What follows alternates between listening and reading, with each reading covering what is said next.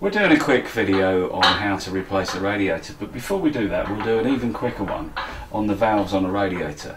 Uh, on one side of some radiators in some homes, you will have a thermostatic radiator valve, uh, TRV. If you have a look at our video on how a TRV works, you'll see more about that. But on the other side of the radiator, you will have this little beauty, and this is called a lock shield valve. Okay, so there's a shield within there that locks down to stop the water coming in. Um, this side connects to the radiator, um, just straightforward radiator um, nut, screws onto that.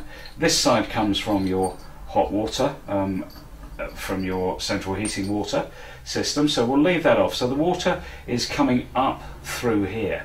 A lot of people think that the lock shield, let's take the cap off of the lock shield, that simply pulls off and you'll see that we have a little spindle there that we can turn on and off with a spanner. Um, the better lock shield valves come with another cap with a little slot in the head and we like to leave these on. The slot fits over the spindle and makes that easy to turn on and off. And as I said, a lot of people think that with a lock shield valve it stops the water at this point here. It actually doesn't. It stops the water coming in through the bottom of the valve through the central heating. Now I'm going to open that fully and then I'm going to ask the camera to zoom in on that if that's at all possible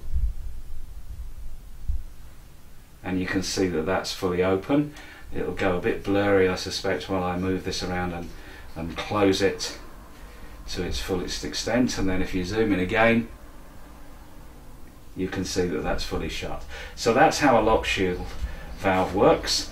They normally go on one side of the radiator. You can get um, lock shields that, that have a drain plug as well. That's always handy on the last radiator on the system. Have a drain plug on the lock shield and that, and that will allow you to drain all of the water out of the system to take your radiators on and off. Um, so there we go, that's how a, a lock valve works uh, from DIY Doctor.